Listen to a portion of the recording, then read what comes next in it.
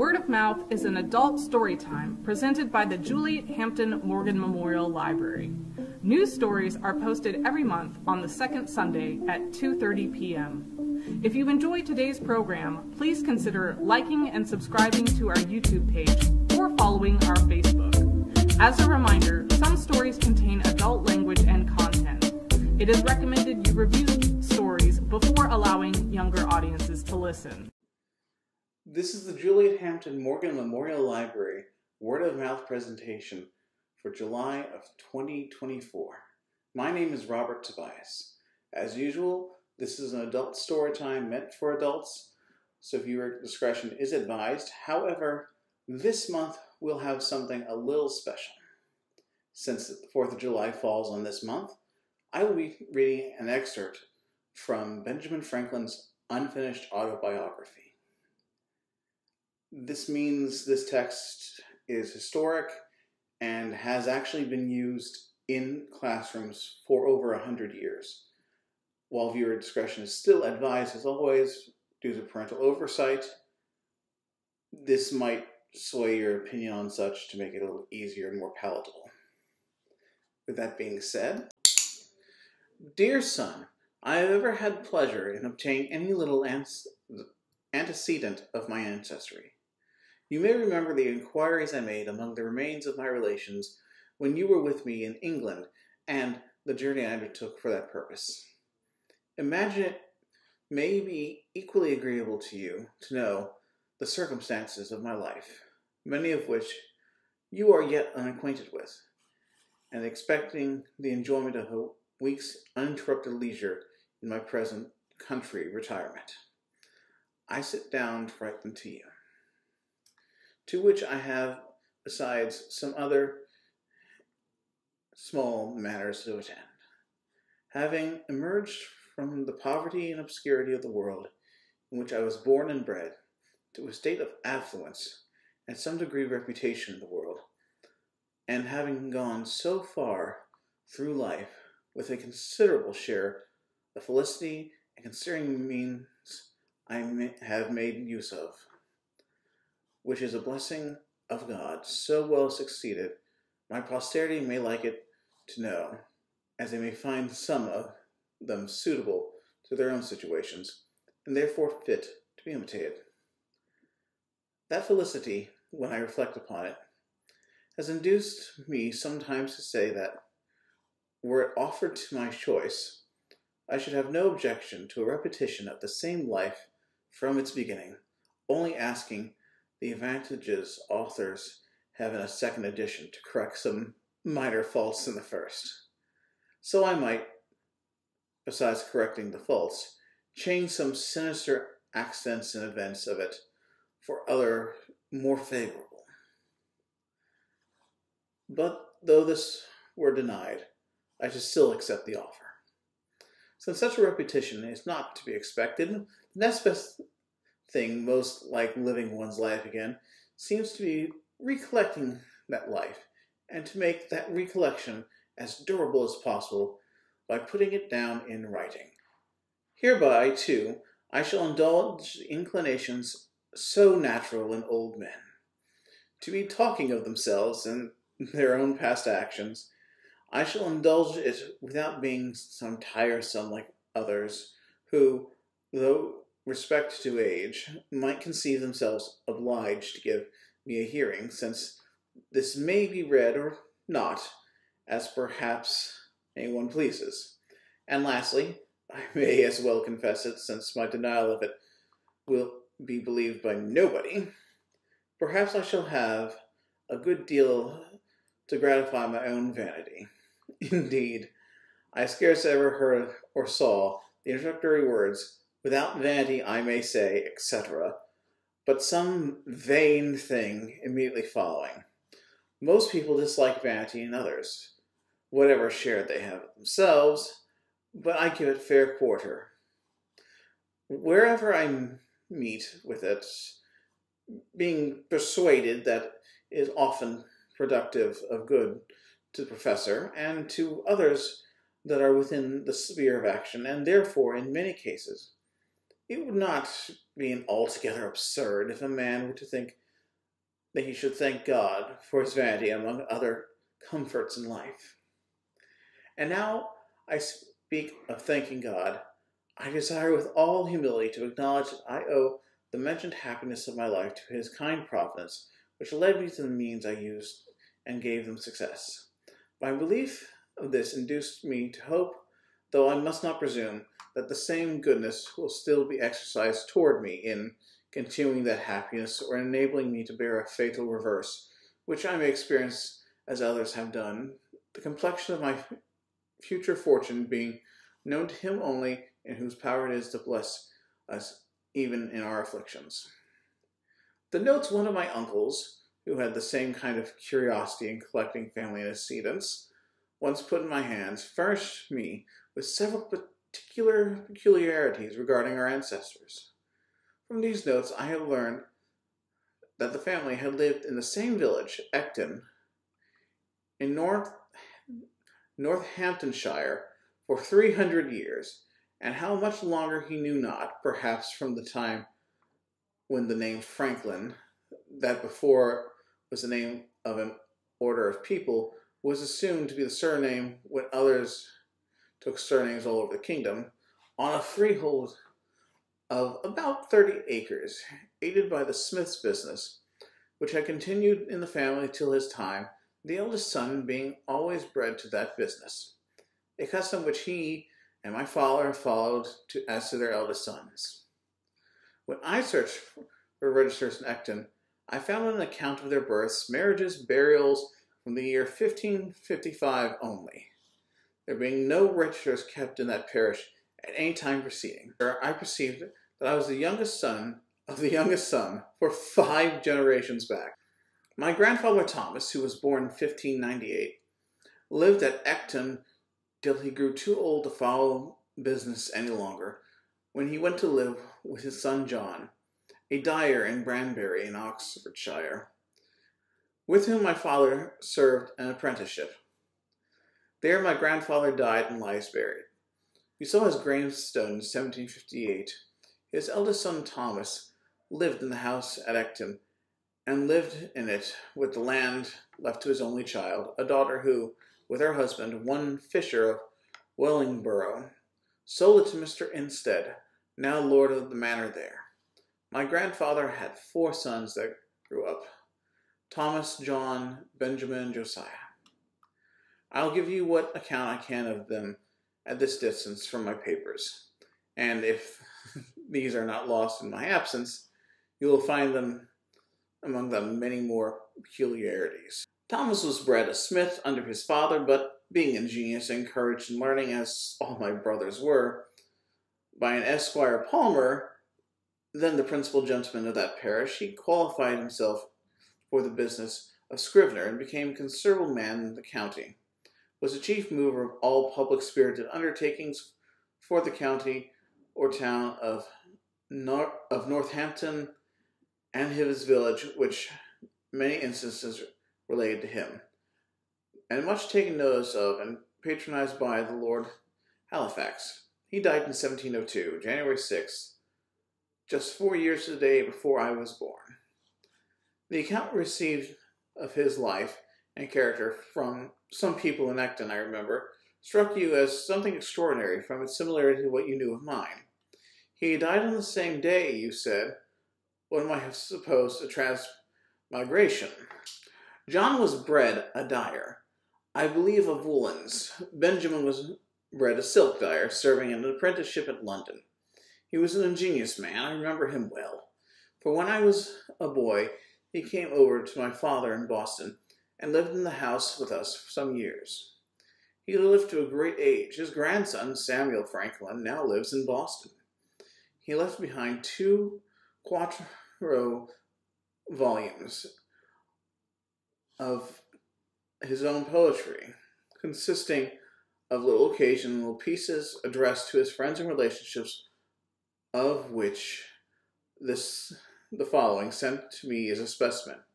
He formed a shorthand of his own, which he taught me, but never practicing it, I've forgotten it. I was named after this uncle, there being a particular affection between him and my father. He was very pious, a great attender of sermons of the best preachers, which he took down his shorthand, and he had with him many volumes of them. He was also much of a politician, too much, perhaps, for his station. There fell lately into my hands in London a collection he had made of all the principal pamphlets relating to public affairs from 1641 to 1717. Many of the volumes are wanting, as appears by the numbers, but there still remains eight volumes in folio, about 24 in quarto and in octavo. A dealer in old books might me, me well meet with them, and knowing by something of buying him, a dealer in old books met with them, and knowing me by sometimes buying of him, he bought them from me. It seems my uncle must have left them here when he went to America, when he was about fifty years since. There are many of his notes in the margins. The obscure family of ours was early in the Reformation and continued Protestants through the reign of Queen Mary, when they were sometimes in danger of trouble on account of their zeal against the Pope. They had got an English Bible, and to conceal and secure it, it was fastened open with tapes under and within the cover of a joint stool. When they when my great great grandfather read to his family, he turned up the joint stool upon his knees, turning over the leaves under the tapes. One of the children stood at the door to give notice if he saw the apparitor coming, who was an officer of the spiritual court, and in that case the stool was turned down again upon its feet, where the Bible remained concealed under it. This accident I had found from my uncle Benjamin. The family continued all of the Church of England till about the end of Charles II's reign, which some of the ministers they had found outed for nonconformity, holding conventicles in North Hampshire. Benjamin Josiah adhered to them, and so they continued their lives. The rest of the family remained with the Episcopal Church. Josiah, my father, married young and cared for his wife and three children into New England about 1682.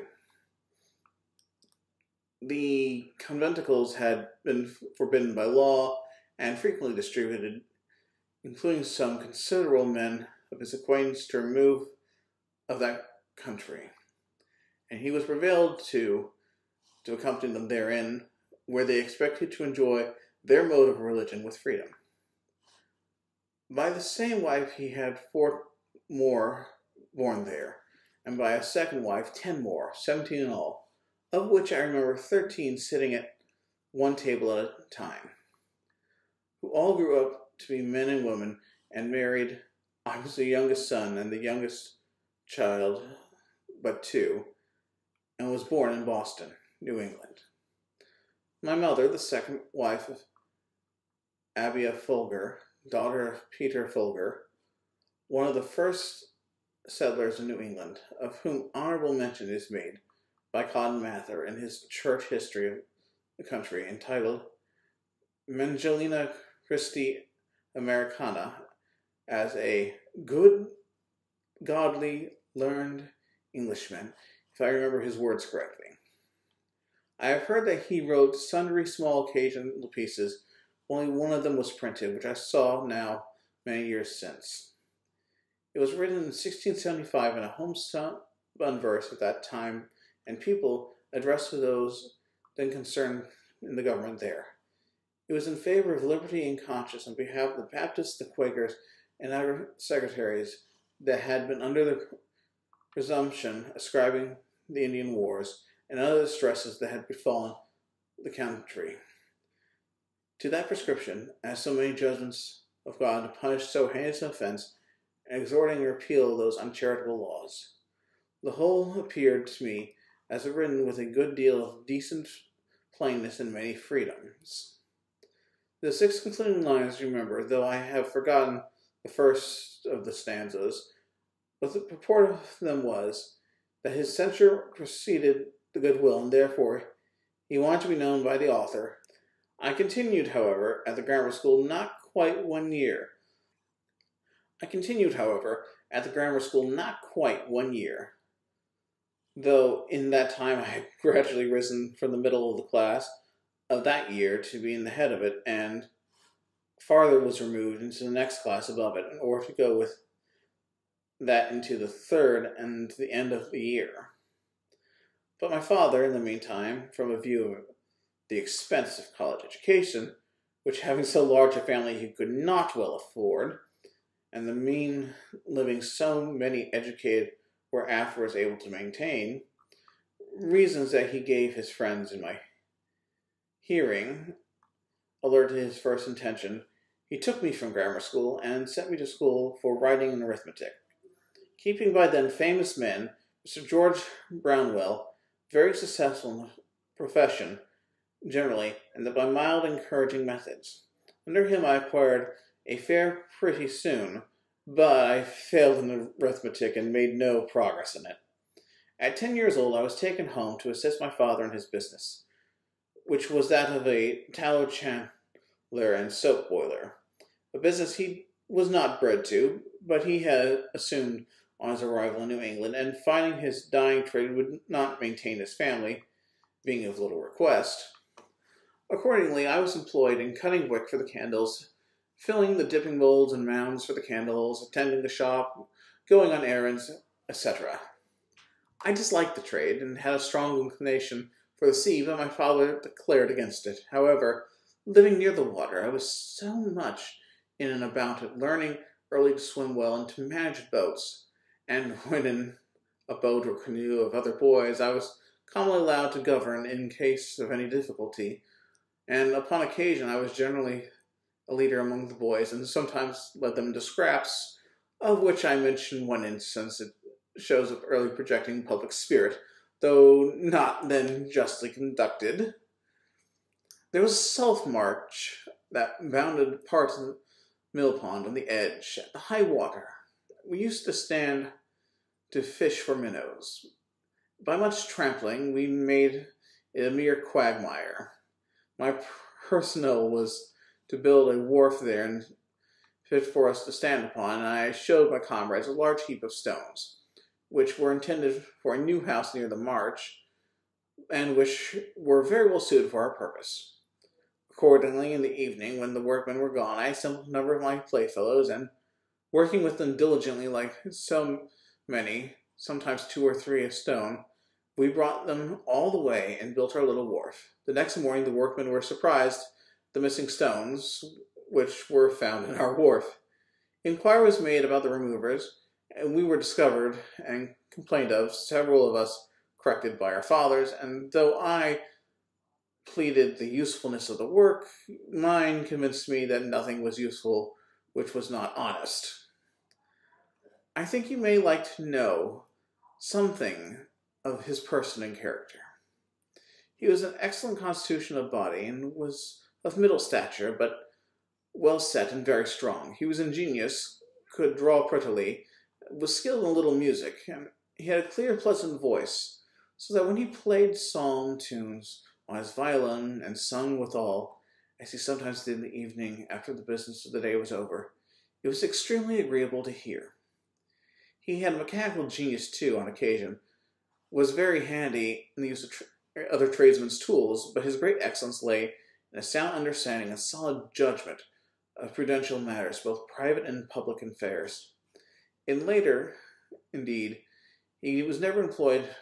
The numerous families he had educated, the strangeness of the circumstances, keeping him close to the trade. But I remember, well, he being frequently upon by leading people, consulted him for his opinion after affairs of the town or the church belonged to him, and showed a good deal of respect for his judgment and advice. He was also much consulted by private persons about their affairs when any difficulties occurred, and was frequently chosen as an arbitrator between contending parties.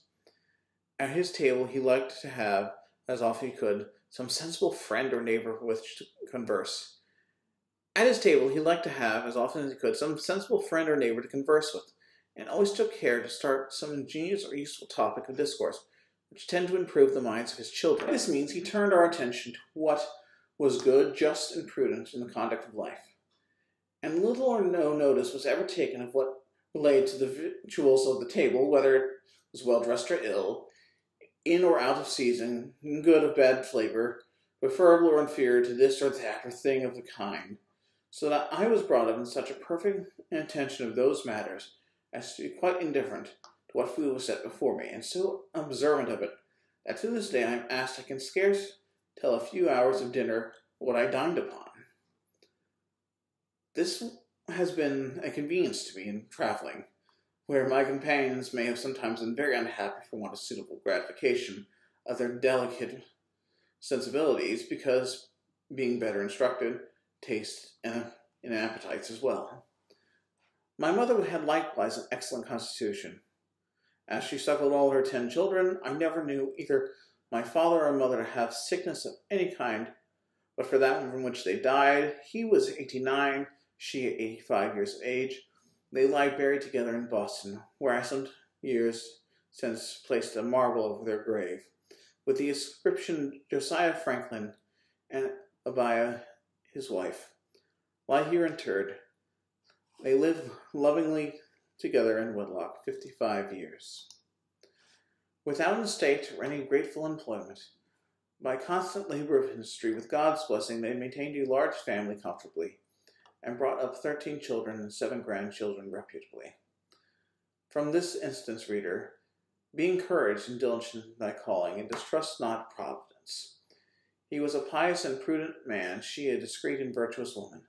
Their youngest son, in filial regard to memory, places this so. J.F., born 1655, died 1744. A.F., born 1667, died 1752 85. By my rambling digression, I perceive myself that I have grown old. I used to write more methodically, but one does not dress for private company as for a public ball. Tis perhaps only negligence. But to return, I continued thus employed in my father's business for two years, that is, till I was twelve years old, and my brother John, who was bred to do that business, having left my father, married and set up for himself at Rhode Island.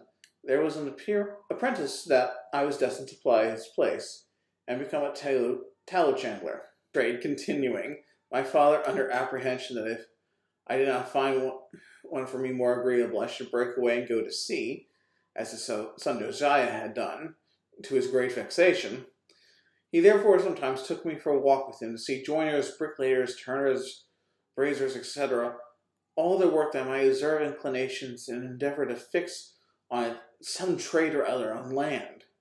It has ever since been a pleasure to me to see good workmen handle their tools, and it has always been useful to me, having learned so much of it to be able to do little jobs for myself around my own house when a workman could not be readily got, and to construct little machines for my experiments, while the intentions of making the experiment was fresh and warm in my mind at least. My father at last fixed upon the cutler's trade, and Uncle Benjamin's son Samuel, who was bred to that business in London, being about to establish himself in Boston, I was sent to be with him some time on the liking. But his expectations of a fee with me displeasing my father, I was taken home again. Chapter 2 begins beginning life as a printer. From a child, I was fond of reading, and all the little money that came to my hands was ever laid out into books. Pleased with Pilgrim's Progress, my first collection was on John Bunyan's work in separate little volumes. Afterwards, I sold them to enable me to buy R. Burton's historical collections. Uh, they were small chapman's books, and cheap, forty or fifty in all. My father's little library consisted chiefly of books in polemics, divinity, most of which I read, and I have often regarded them since the time when one had such a thirst for knowledge. More proper books have not fallen my way, since now I resolve I should not be a clergyman.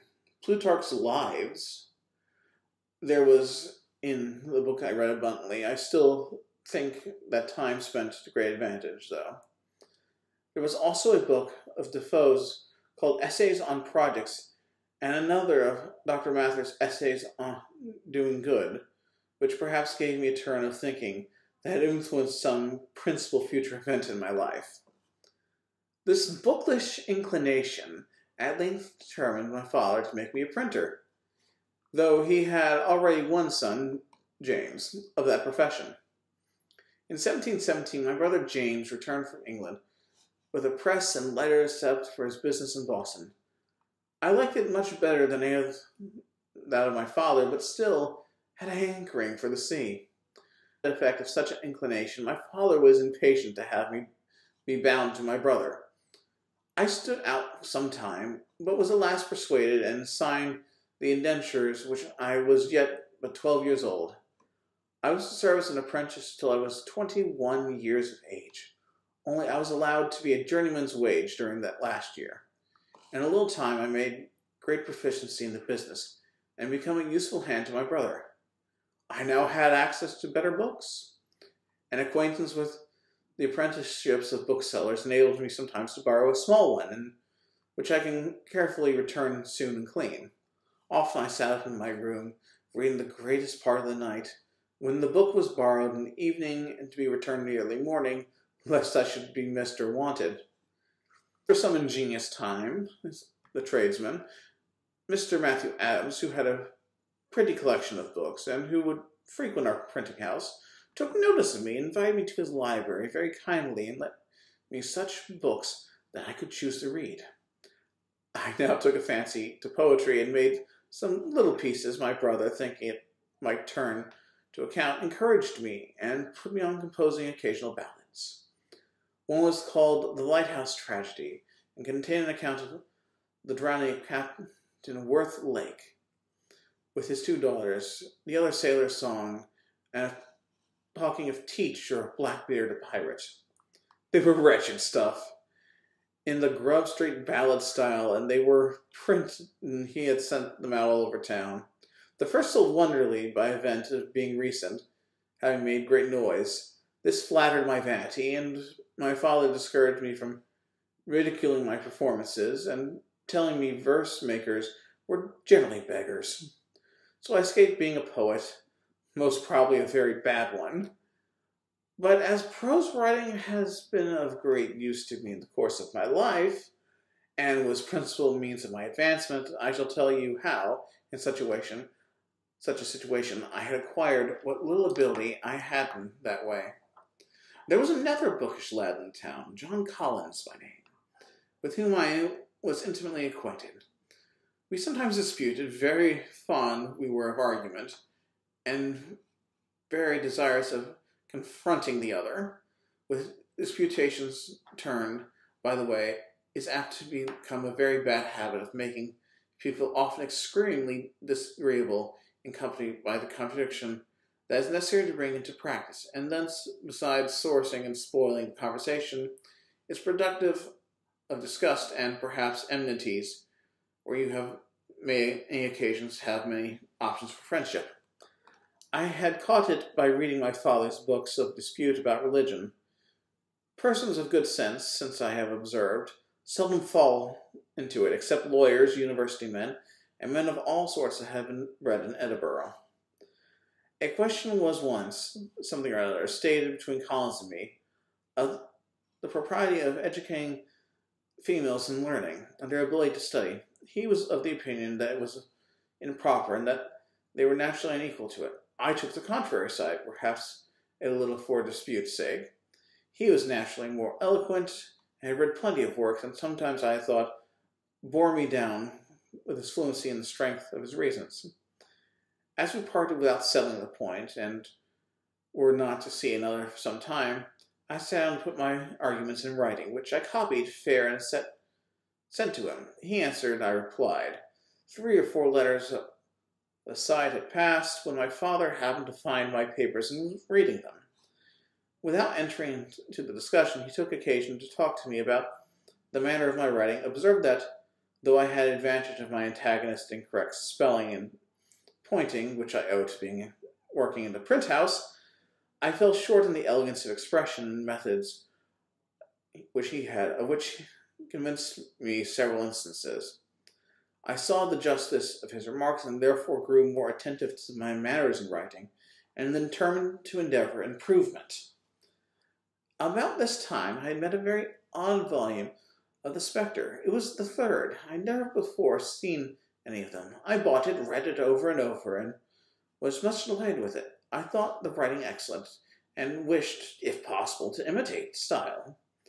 With this view, I took some papers and, making short hints of the sentiment in each sentence, laid them by a few days, and then, without looking at the book, tried to complete the papers again by expressing each hint and sentiment at length and at full and fully expressed before in suitable words that should come in hand.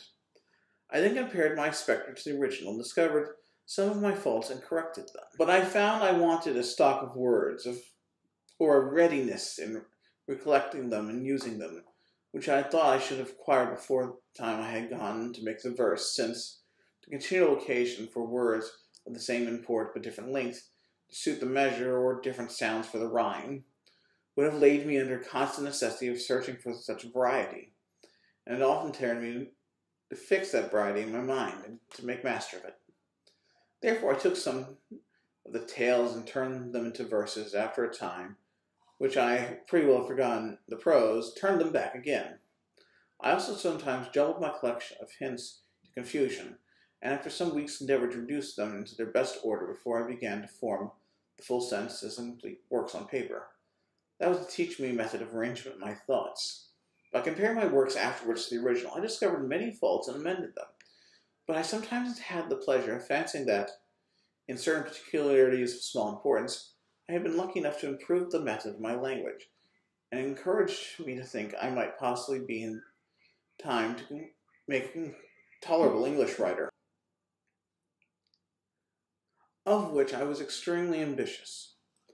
My time for these ex exercises and reading was at night, after work or before it began in the morning, or on Sundays when I contrived to be in the printing house alone, evading as much as I could the common attendance of public worship which my father used to exact upon me when I was under his care, and which indeed I still thought a duty, though could not, as it seemed to me, afford time to practice it. When about sixteen years of age, I happened to meet a book, one written by Tryon, recommending a vegetable diet. I determined to go for it. My brother, being yet unmarried, did not keep house, but boarded himself and his apprentices in another family. My refusal to eat flesh occasioned an inconveniency, and I was frequently chided for my singularity. I made up myself acquainted with Tryon's manner of preparing some of his dishes, such as boiling potatoes or rice, making a hasty pudding, and a few others that had proposed my brother that he would give me weekly half the money I, he paid for my board. I would board myself for those times. He instantly agreed to it and presented me. He found that I could save half what he paid me. This was an additional fund for buying books, of course. But I had another advantage in it. My brother and the rest going from the printing house to their meals, I remained there alone, dispatching presently my light repast, which often was no more than a biscuit or a slice of bread and a handful of raisins or a tart from pastry cook and a glass of water, had the rest of the time returned to study, which I had made great progress from that great clearness of head and quicker apprehension which usually attend temperance in eating and drinking. And now it was that, being on some occasional made ashamed of my ignorance at figures, which I had twice failed in learning school, I took to Cocker's book of arithmetic, and went the whole by myself with great ease. I also read Sellar and Shermy's books on navigation and became acquainted with the little geometry they contained, but never proceeded far into the science. And I read about this time Locke on Human Understanding and the Art of Thinking by Messrs. de Port Royal. While I was intent on improving my language, I met with an English grammar, I think it was Greenwood's, at the end of which there were two little sketches of an art of rhetoric and logic. The later finishing with a specimen of dispute in the Socratic method, and soon I procured Xenophon's Memorable Things of Socrates, wherein there were many instances of the same method. I was charmed with it, adopted it, dropped my abrupt contradictions and positive argumentations, and put on the humble inquirer and doubter. And being then, from reading Shaftesbury and Collins, became a real doubter of many points of religious doctrine. I found this method safest for myself and very embarrassing to those whom against I used it. Therefore, I took delight in practicing it, practiced it continually, and grew ever very artful and, ex- and expert at drawing people, even of superior knowledge, into con- concessions, the consequences of which they did not foresee, entangling them in difficulties out of which they could not extradite themselves, and so obtain victories that neither myself nor the cause always deserved. I continued this method for some years, gradually left it, retaining only the habit of expressing myself in terms of modest diffidence, never using, when I had advanced anything that may have possibly been disputed, the words certainly or undoubtedly or any other that could have given me an air of positiveness to an opinion, but rather say, I conceive or apprehend that a thing or so so to be appears to be, or I should think so, for such and such reason, or I imagine it to be so, or if I am not mistaken. This habit, I believe, has been of great advantage to me when I have occasion to inculate my opinions and persuade men into measures that have been, from time to time, engaged in promoting, and that as chief ends of the conversation are to inform or to be informed, to please or to, or to persuade. I wish well-meaning, sensible men would not fear their power of doing good by a positive, assuming matter, that seldom fails to discuss, tends to create opposition, and defeat every one of those purposes for which speech was given to us, to wit, to giving or receiving information or pleasure. For if you would inform a positive and dogmatic matter in advancing your sentiments, you may provoke contradiction, prevent a candid attention. a wish to inform improvement for the knowledge of others, and yet at the same time express yourself as firmly fixed in your present options, modest, sensible men who do not love disputation will probably leave you undisturbed in your possession of your error. By such a matter, you can seldom hope to recommend yourself in pleasing your hearers or persuading them away from those concurrent desires. Pope says judiciously, men should be taught as if you taught them not, and things unknown proposed as things forgot. Farther recommend to us to speak, though sure, with seeming diffidence, and he might have coupled with this line, that which he have coupled with another, I think less properly. For want of modesty is want of sense. If you ask, why less properly, I repeat the lines, immodest words admit no defense. For what of modesty is want of sense? Now, is it want of sense where a man is so unfortunate as to have it, some apology for his want of modesty. It would not the line stand more justly thus. In modest words admit but this defense, that want of modesty is want of sense. This, however, I should submit for better judgments. My brother had, in 1720 or 21, began to print a newspaper. It was the second that appeared in America. It was called the New England Courant. The only one before it was the Boston Newsletter. I remember his being dissuaded by some of his friends from the undertaking and not likely to succeed, one newspaper being, in their judgment, enough for America at the time. At this time, 1771, there are not less than five and twenty. He went on, however, with the undertaking and had, after having worked in composing the types and printing of the sheets, I was employed to carry the papers through the streets to customers. He had some ingenious men among his friends who amused themselves by writing little pieces for his paper, which granted it credit and made it in more demand. These gentlemen often visited us. Hearing their conversations, their accounts, their approbation, their papers was received with, I was excited to try my hand among them, but still being a boy, and suspecting that my brother would object to printing anything of mine in the paper if he knew it would be mine, I contrived to, to disguise my hand, and writing an anonymous paper. I put it in at night under the door at the printing house. It was found the next morning, communicated to his writing friends when they were called as their usual. They read it, commented on it in my hearing, and had the exquisite pleasure of finding with their approbations, and that and there are different guesses as to the author, none of them named but men of some character among us, of the learned and ingenious. I suppose now that it was rather lucky in my judges that, and that perhaps they had not read so really so good ones I had esteemed them. Encouraged, however, by this, I wrote and conveyed in the same way to the press several more papers which were equally approved. I kept it secret till my small fund of sense for such performance was pretty well exhausted, and then I discovered it when I began to consider a little more my brother's acquaintances, and I began a matter that did not quite please him, as he thought, probably with reason, that it tended to make me a little too vain, and perhaps this might be one occasion the, differences that we began to have at the time.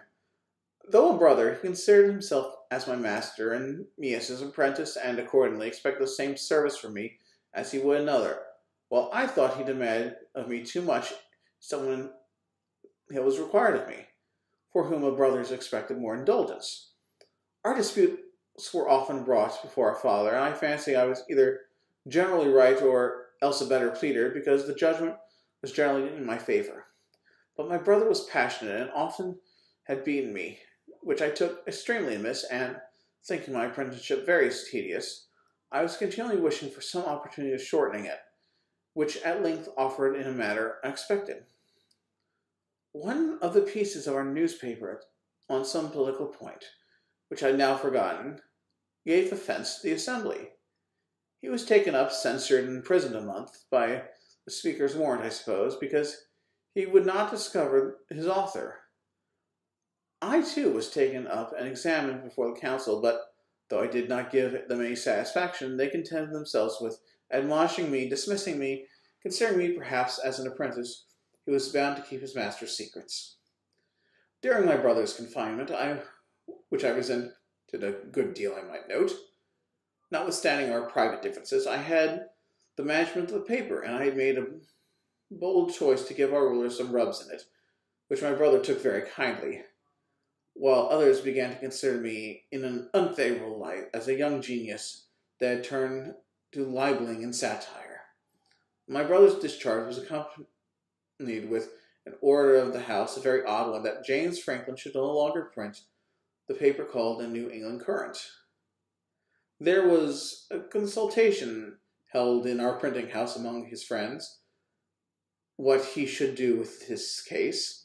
Some proposed the evade by changing the name of the paper, but my brother, seeing inconveniences in that, was finally concluded as to a better way. To let it be printed for the future under the name Benjamin Franklin, and to avoid censure of the Assembly that might fall on him for still printing it by his apprentice, the contrivance was that my old indenture should be returned to me with full discharge on back to it to be shown on occasion, but to secure him the benefit of my service, I was to sign a new indenture remainder of the term, which were to be kept private. A very flimsy scheme it was, however, it immediately executed, and the paper went accordingly under my name for several months. At length, a fresh dif- difference arising between my brother and me, I took it upon myself to assert my freedom, presuming that he would not venture to produce the new indentures it was not fair to me to take advantage, and this I therefore reckoned on first errata of my life, but the unfairness of it weighed little on me, when under the impression of resentment from the blows of his passion too often urged me to bestow upon me, though he was otherwise and not an ill-natured man, perhaps I was too saucy with provoking. When he found I would leave him, he took care to prevent my getting employment at any other printing house in the town, going round and speaking to every master, accordingly refused to give me work. Then I thought of going to New York. As the nearest place where the print, there was a printer, I was rather inclined to leave Boston and reflected that I had already made myself a little obnoxious to the governing party. And from the arbitrary proceedings of the Assembly in my brother's case, it was likely I might, if I had stayed, soon bring myself into scrapes, and farther than my indiscreet disputations about religion began to make me point with the honor of good people as an infidel or an atheist. I determined on the point, but my father was now sliding with my brother. I was sensible that if I attempted to openly go about it, means would have prevented me. My friend Collins, therefore, undertook to manage a little for me.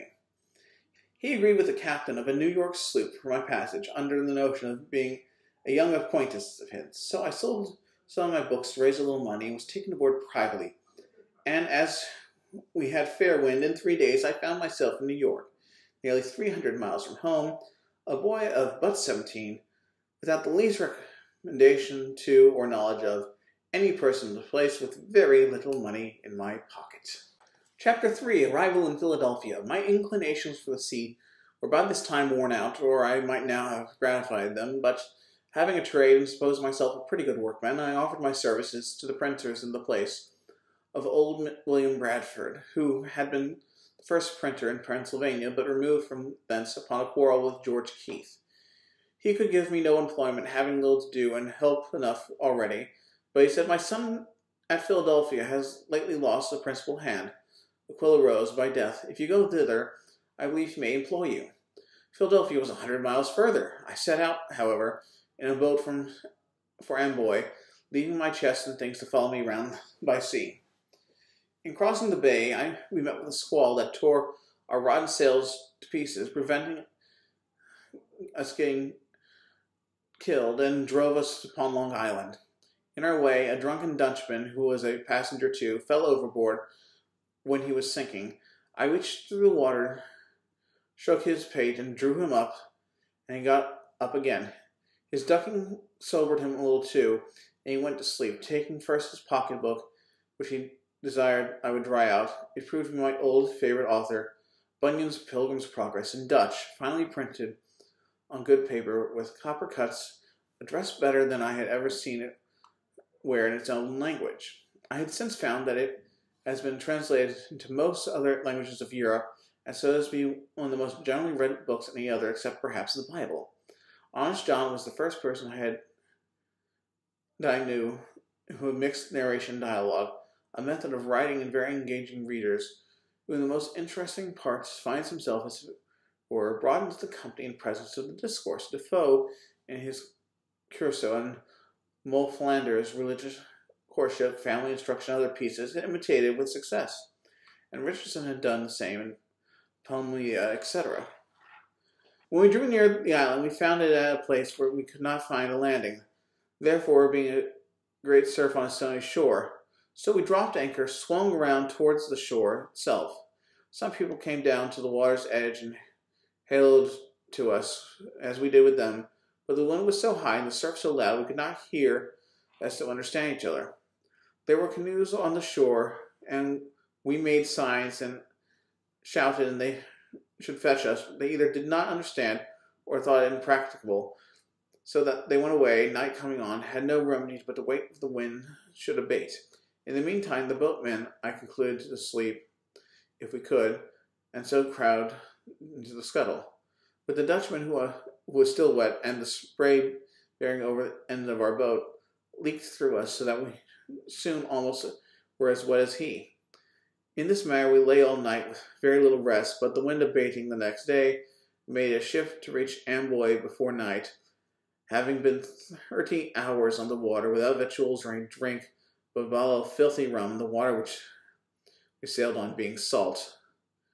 In the evening I found myself very feverish and went to bed but having read somewhere that cold water drank plentiful was good for fever, followed this prescription, sweat plentifully most of the night. My fever left me. In the morning, crossing the ferry, proceeded on journeying with my feet, having fifty miles to Burlington, which I should find boats that would carry me the rest of the way to Philadelphia. It rained very hard all day. I was thoroughly soaked, and by noon I had a good deal done and was tired. So I stopped at a poor inn, where I stayed the night, beginning now to wish I had never left home. I cut so miserable a figure, too, that I found by questions asked of me, I was suspected to be some runaway servant, and in danger of being taken upon that suspicion. However, I proceeded the next day, and got an evening in with eight or ten miles of Burlington to keep one Dr. Brown. He entered into conversation with me while I was took some refreshment, and finding I had read a little, became very sociable and friendly. One acquaintance, our acquaintance, Our acquaintance continued as long as he lived. He had been, I imagine, an itinerant doctor, for there was no town in England or country in Europe of which he could not give a very particular account. He had some letters and was very ingenious, but much of an unbeliever and wickedly undertook, some years after, to travesty the Bible in dogged verse, as Cotton had done Virgil. By this means he set many of the facts in a very ridiculous light, and might have hurt weak minds if his work been published. It never was, though. At this house I lay that night, and the next morning reached Burlington, but had the mortification to find that the regular boats were gone a little before my coming, and not expect to go before Tuesday, this being Saturday. Wherefore I turned to an old woman in town, of whom I had brought gingerbread to eat on the water, and asked her advice. She invited me to lodge at her house till the passage by water should offer itself, and being tired of my foot traveling, accepted the invitation. She, understanding I was a printer, would have me stay at that town, follow my business, being ignorant of the stock necessary to begin with. She was very hospitable, gave me a dinner of ox cheek with great goodwill, accepting only a pot of ale in return, and I thought myself fixed till Tuesday should come. However, walking in the evening by the river, a boat came by, which I found was going towards Philadelphia with several people in her. They took me in as there was no wind. We rowed all the way. And about midnight, not having seen the city yet, some of the company were confident we must have passed it and would row no further. Others knew not where they were, so we put toward the shore, got into a creek, landed near an old fence, with the rails of which were made of fire, the night being cold in October, and there was little remaining of the daylight. And there we remained till daylight. Then one of my company knew the place to be Cooper's Creek, a little above Philadelphia, which we saw as soon as we had gone off the creek, and arrived there about eight or nine o'clock on Sunday morning and landed at the Market Street wharf. I have been more particular in this description of my journey, and shall be so for the first entry into that city, that you may, in your mind, compare such unlikely beginnings with the figures since made there. I was in my working dress, my best clothes being to come round by sea. I was dirty for my journey, my pockets were stuffed out with shirts and stockings. I knew no soul nor where to look for lodging. I was fatigued from traveling, rowing, and want of rest. I was very hungry, and my whole stock of cash consisted of a Dutch dollar, about a shilling, and a copper. The later I gave to the people in the boat for my passage, who was first willing to refuse on account of my rowing, but I insist on their taking it. A man sometimes being more generous when he has little money, but little money when he has plenty, perhaps through fear of being thought to have but little. Then I walked up the street, gazing about till near the market house I met a boy with bread. I had made many a meal on bread, and inquiring where he got it, I went immediately to the baker's he directed me to. In Second Street, I asked for a biscuit and tang, such as we had in Boston, but they did not seem to have it, nor was it made in Philadelphia. I then asked for a three penny loaf, and was told that he had none such loaves. So, not considering knowing the difference of money and a great deal cheaper or the names of bread, I bade him give me three penny worth of any sort. He gave me, accordingly, three great puffy rolls. I was surprised at the quantity, but took it, and having no room in my pockets, walked off with a roll under each arm and eating the other. Thus I went up to Market Street as far as Fourth Street, passing by the door of Mr. Reed, my future wife's father, when she, standing at the door, saw me and thought I made, and certainly did, a most awkward and ridiculous appearance. Then I turned and went down Chestnut Street and part of Walnut Street, eating my roll all the way, and coming round, found myself again at Market Street's wharf, near the boat I came in, to which I went for a draught, the river water, and, being filled with one of my rolls, gave the other two uh, to a woman and a child that came down the river boat with us, and were wanting to go further. Thus refreshed, I walked up again to the street by which this time had many clean dressed people in it, who were all walking the same way. I joined them and thereby was led to the great meeting house of the Quakers near the market. I sat down among them, and after looking round a while and hearing nothing, being very drowsy through labor and want of rest the preceding night, I fell asleep and continued so until the meeting broke up, when one was such kind enough to rouse me. This was, therefore, the first house I was in or slept in in Philadelphia. Walking down again toward the river and looking at the faces of the people I met, I had met a young Quaker man whose countenance I liked, and accosting him, requested he would tell me where a stranger could get lodging. We were near the, the sign of the Three Mariners. He, here, says he, is one place that entertains strangers, but it's not a reputable house. If thee wilt walk with me, I'll show thee a better. He brought me to the Crooked Billet in Water Street. Here I got dinner, and while I was eating it, several sly questions were asked of me. It seemed to be he suspected from my youth and appearance that I might be, I'd be some sort of runaway. After dinner, my sleepiness returned, and being shown to bed, I laid down without undressing, and slept till six in the evening, was called to supper, went to bed again very early, and slept soundly till the morning. Then I made myself as tidy as I could, and went to enter Bradford's printers. I found in the shop the old man, his father, whom I had sent, seen at New York, and who, traveling on horseback, had gone to Philadelphia before me. He introduced me to his son, received me civilly, gave me breakfast, but told me he did not present want of a hand, being lately supplied with one. But there was another printer in town, lately set up, one Keimer, who perhaps might employ me. If not, I should be welcome to lodge at his house, and he would give me a little work to do now and then till filler business should be offered. The old gentleman said he would go with me to New Printer, and when we found him, neighbor, says Bradford, I brought to see you a young man of your business. Perhaps you may want such one. And he asked me a few questions, putting a composing stick in my hand to see how I worked, and then he would employ me soon, though he had just then nothing for me to do, and taking old Bradford, whom he never had seen before, to one of the townspeople that had good will for him, entered into conversation on his present undertaking and prospects, while Bradford, not discovering that he was was the other printer's father, one Keimer said that he expected soon to get the greatest part of the business into his own hands, drew on by artful question and starting little doubts to explain all his views, what interests he relied on, and in what manner he intended to proceed. I, who stood by and heard all, saw immediately that one of them was a crafty old fister, and the other merely a novice. Bradford led me, left me with Keimer, who was greatly surprised when I told him who the old man was. Keimer's printing house, I found, consisted of an old sh shattered press, one small worn-out font of English, which he was then using himself, composed an elegy of on Aquila Rose before mentioning, an ingenious young man of excellent character, much of respect for the town, clerk of the assembly, and a pretty poet. Keimer made verses too, but very indifferently.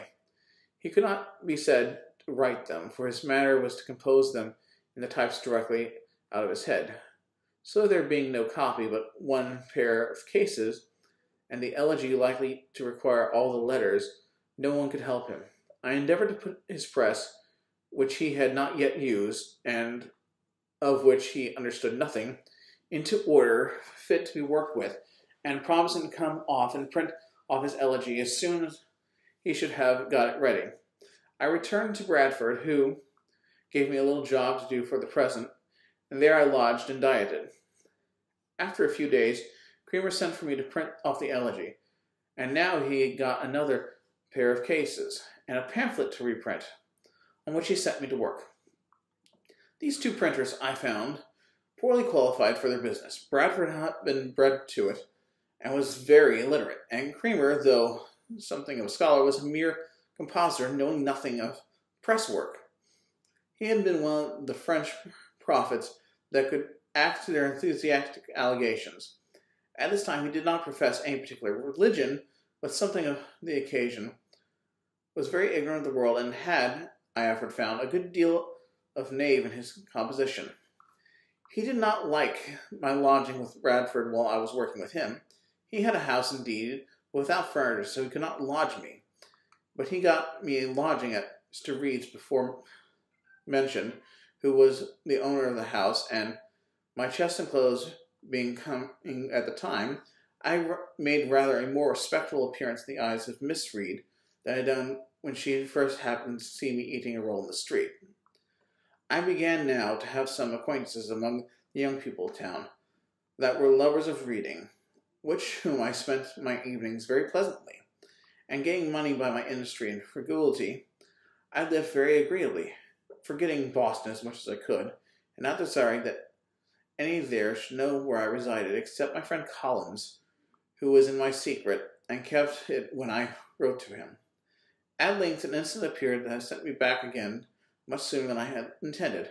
I had a brother-in-law, Robert Holmes, master of a sloop that traded between Boston and Delaware.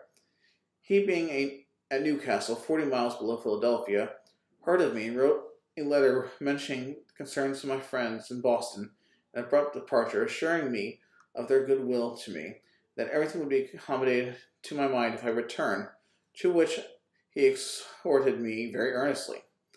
I wrote an answer to this letter, thanking him for his advice, but stated my reasons for quitting Boston, and in such light as to convince him I was not so wrong as he had apprehended. And that, my friends, will have to do it for today. Thank you so much for listening. If you're watching this on Facebook, please follow our Facebook page. If you're watching this on YouTube, please like it and follow our YouTube page. Thank you so much for listening to this adult story time, word of mouth. The book I have read was again the autobiography of Ben Franklin, the first four chapters or so. Uh, sorry, three chapters and a little bit of the introduction. And you can find this actually in her library on Hoopla and Cloud Library. You can also get this book through interlibrary loans from our reference department, which is upstairs on the second floor of the main library. Thank you and have a wonderful day.